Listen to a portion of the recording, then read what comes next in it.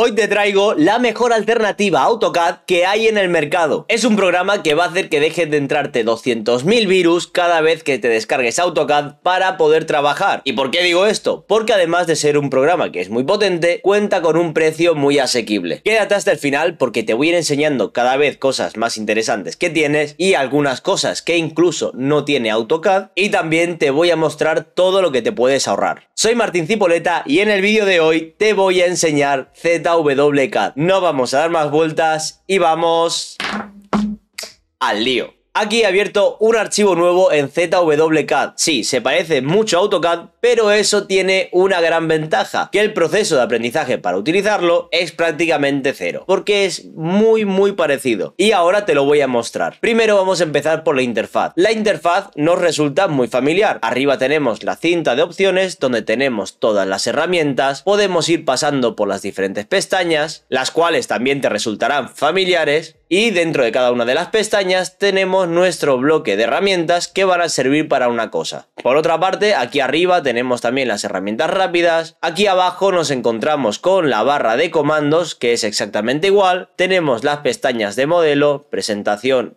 y presentación 2 y abajo de todo tenemos la barra de estado, pero a diferencia la tenemos dividida en dos. Por una parte tenemos los elementos de rejilla, forzar cursor, referencias a objetos, entradas dinámicas, etc. Y por otra parte a la derecha tenemos las unidades, tenemos las escalas anotativas y otras opciones. También viendo la interfaz lo que podemos hacer es venirnos aquí arriba y ponerlo en modo clásico. Si te interesa trabajar en modo clásico ya sabes, puedes venir aquí y poner el clásico. Pero ahora vamos con la parte más importante. ¿Puede abrir archivos de AutoCAD? La respuesta es sí. Además, por defecto trabaja con .dwg. Podemos verlo aquí arriba, dibujo 1.dwg por lo tanto, es totalmente compatible con AutoCAD y si trabajas con otra persona que lo tenga, podéis trabajar el mismo archivo entre los dos, cada uno con un programa. No hay ningún problema. Una duda que puedes tener es abrir un archivo nuevo con una plantilla que tengas hecha ya en AutoCAD. No pasa nada, le das a Control N o le das a nuevo aquí arriba y se te va a abrir automáticamente la carpeta de plantillas de ZWCAD que vemos aquí, que el archivo es .dwt por lo tanto es el mismo tipo de archivo que utilizamos en AutoCAD. ¿Qué tiene de bueno esto? Que si tú tienes tu plantilla, puedes venir, le das a abrir y automáticamente se te va a abrir el archivo con tu plantilla. Yo aquí tengo mis capas, tengo todo lo que hicimos en las plantillas de vídeos anteriores. Incluso si quisiera, podría abrir un archivo que ya tuviera dibujado, voy a venirme aquí a abrir, voy a darle a estos planos de vivienda y ya se me abren aquí. Si yo guardara este archivo, directamente podría abrirlo después en AutoCAD. Y ahora que lo veo así, yo había dejado el fondo en negro para que lo vierais, pero me gusta trabajar en blanco y ya lo sabéis por otros vídeos. Por lo tanto, escribo OP, abro las opciones, me voy a venir aquí a pantalla, color y aquí lo voy a poner en blanco aplicar y cerrar, aceptar. Y ya tengo mi fondo de pantalla en blanco para dibujar como yo dibujo de normal. Y como te habrás dado cuenta, he utilizado un atajo de teclado que utilizaba en AutoCAD. OP para opciones. ¿Por qué? Porque los atajos de teclado son exactamente iguales. En este caso yo tengo el programa en español, pero también lo podrías tener en inglés. Y los atajos son iguales. Así que si yo escribo alias edit, le doy a enter, se me va a abrir el editor de alias y como en AutoCAD puedo añadir, eliminar o editar los diferentes atajos de teclado que ya tengo aquí. Si tú ya tienes tus alias y ya te los has configurado, fácilmente le puedes dar a importar, buscas tu archivo acad.pgp, le das a abrir y automáticamente se te van a poner todos tus atajos de teclados que ya tienes aquí. Ahora le voy a dar a aceptar, me dice que este archivo ya existe, voy a darle que sí, que lo quiero reemplazar porque es el que tengo yo, y ahora ya puedo utilizar mis atajos de teclado. Por ejemplo, uno de los que tengo es Select Similar, que lo tengo con SS, y puedo ver que ya se ha activado. Y siguiendo con las configuraciones, vamos a ver qué pasa al imprimir. Si tú tienes tu archivo de plumillas, puedes ponerlo también aquí. Es decir, yo quiero ver cómo se va a ver esta planta antes de imprimir. Primero le voy a dar con el botón derecho aquí, configuración de página, modificar, visualizar estilo de trazado y aquí veo que las plumillas me pone que está vacío, es decir, no está donde debería estar. No pasa nada, simplemente vamos a seleccionar nuestro archivo de plumillas y lo ponemos en la carpeta que toque. Escribo admin estilos, le doy a enter y ya tengo la carpeta aquí. Lo único que tengo que hacer es copiar mi archivo de plumillas a esta carpeta. Lo pego aquí, voy a cerrar ya y ahora sí directamente se me actualiza y ya puedo ver cómo se me va a imprimir. De esta forma no hace falta que hagas un nuevo archivo de plumillas y ya vas a poder ver cómo se imprime sin necesidad de tener que volver a hacer todo el trabajo de nuevo. Y antes de pasar a las herramientas inteligentes que tiene ZWCAD, que son buenísimas, ya que podría hacer 27 vídeos enseñándote cosas sobre el programa, quiero enseñarte algo que me parece muy interesante, y es que respeta los bloques dinámicos. Por ejemplo, este bloque dinámico que hicimos en otro vídeo, puedo seguir haciéndolo más grande, más pequeño, puedo modificarlo tal y como yo quiera. Y además, puedo editarlo desde aquí. Puedo hacer doble clic, le doy a aceptar, y lo único que me va a decir es que se va a convertir en un flexiblock que es el nombre que tiene aquí el bloque dinámico.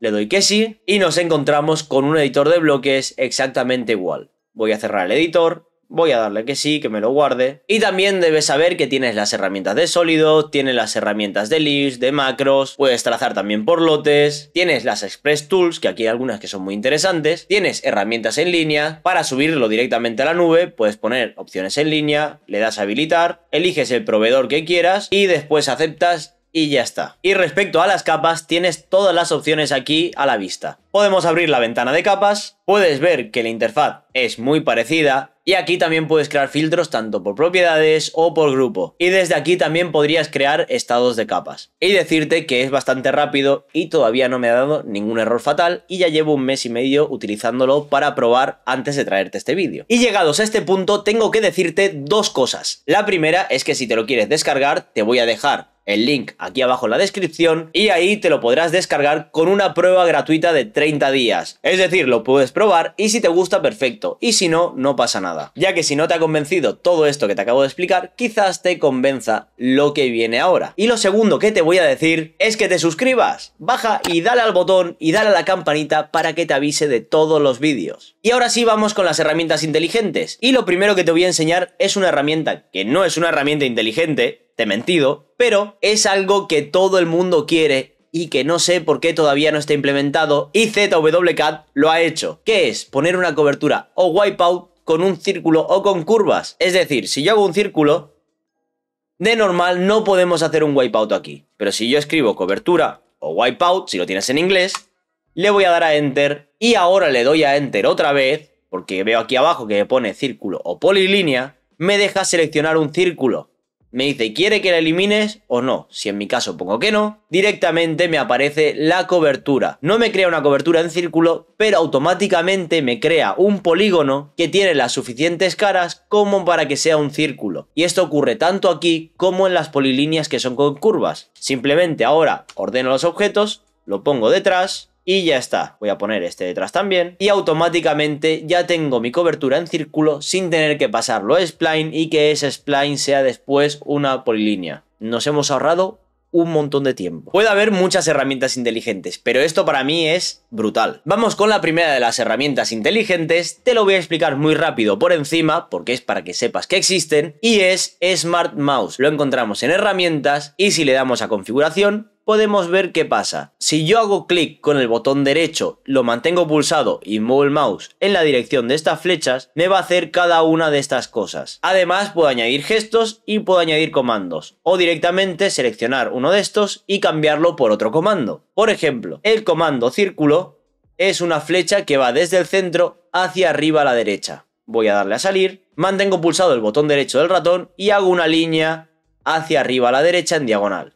Lo suelto y automáticamente me deja poner un círculo. Si usas atajos de teclado, es rápido, pero es que esto es bastante más rápido. Si yo, por ejemplo, quiero hacer otra cosa, voy a venirme aquí, voy a ver qué más tengo y veo que la línea es hacia abajo y a la derecha hago una L y automáticamente me deja hacer líneas. Obviamente si tú tienes la mano en el teclado, a poner L y hacer clic también es rápido, pero hay veces que te puede servir o para otros comandos que sean más largos. Primero voy a cerrar la paleta de propiedades con control 1, exactamente igual, para que no me aparezca, no me moleste, y vamos a ir con la segunda herramienta.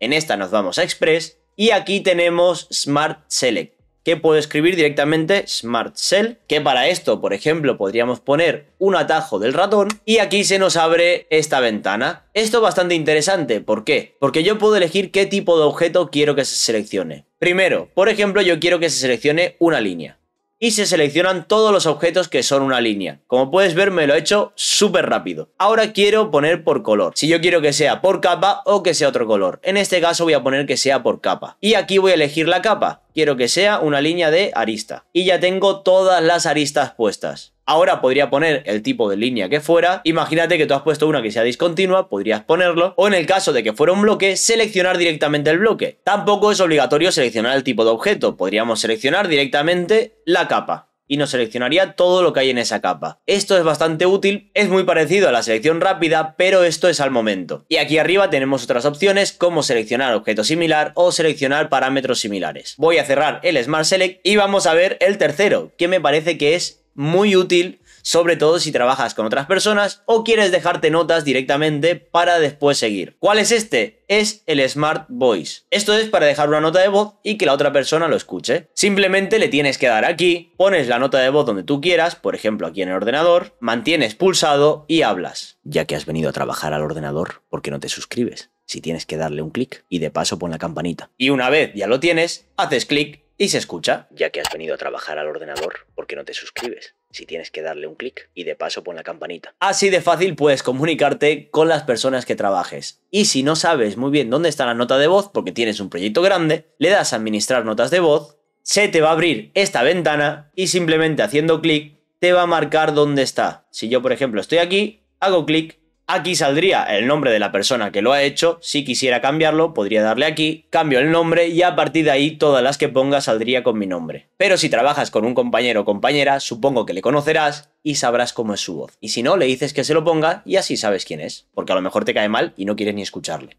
Vamos a cerrar las notas de voz, aquí puedes mostrarlas u ocultarlas para que no te molesten y entre todas las herramientas que hay demás, como por ejemplo sacar áreas y demás, te voy a mostrar una que me parece muy interesante que es para coordenadas. Si tú estás haciendo un proyecto y quieres que el punto 00 esté en un sitio y a partir de ahí hacer el resto de coordenadas, lo puedes hacer directamente desde la pestaña Express, acotación de coordenadas mejoradas. Si yo le doy aquí, automáticamente me dice que ponga un punto. Por ejemplo, yo voy a poner que el punto 00 de mi proyecto sea este de aquí pero como veo ya tiene unas coordenadas. ¿Por qué son estas coordenadas? Porque las está tomando a partir de este 00, que es el punto 00 del archivo, pero yo no quiero que sea este. Por lo tanto, le voy a dar escape, le doy a la O para abrir las opciones, como veo aquí abajo, le doy a Enter y aquí se me abren las opciones de la acotación de coordenadas mejoradas. ¿Qué nos encontramos? Primero que aquí podemos cambiar el texto. Aquí nos van a salir los estilos de texto que nosotros tengamos, si queremos que sea notativo, si no queremos que sea notativo, etc. En mi caso lo voy a dejar así porque se me va a ver bien y quiero enseñarte cómo funciona esta parte de la izquierda. Le voy a dar a sistema de coordenadas personalizado. Y aquí le voy a dar a origen de coordenadas y ángulo de rotación. Voy a seleccionar este punto y voy a poner que el ángulo de rotación sea 0. Escribo un 0, le doy a Enter y ya está. ¿Quiere invertir la dirección del eje Y? Es decir, que vaya para arriba o para abajo. Le voy a poner que no, quiero que vaya para arriba. Le doy a aceptar. Y si ahora hago clic aquí, este ya es el X0, Y0. Y esto lo puedo ir poniendo en diferentes puntos. Por ejemplo, si quiero poner este de aquí, ya tengo el X0, y 7, X10, Y7. Y así puedo ir poniendo diferentes cotas para después poner mejor el proyecto. Ahora que quiero que sea el mismo punto arriba, como sé que el punto S es este punto de aquí, podría activar otra vez el comando, le doy a la O de opciones, defino el origen y el ángulo de rotación, le doy aquí, 0, pongo que no, y ahora acepto y ya puedo poner las cotas otra vez. Y de esta forma vuelvo a tener las cotas sin necesidad de que estas de aquí se me pongan respecto a las de abajo o respecto al 00 del proyecto.